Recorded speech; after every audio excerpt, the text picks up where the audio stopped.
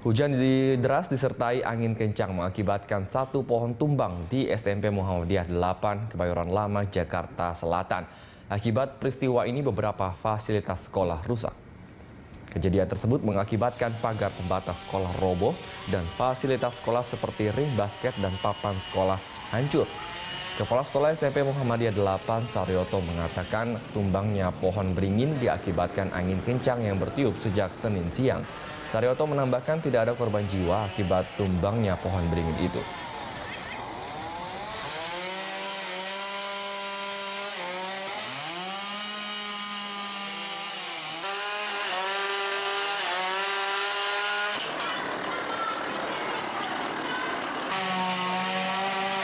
Pas hujan besar, memang apa kayak ada badai sih. Jadi badai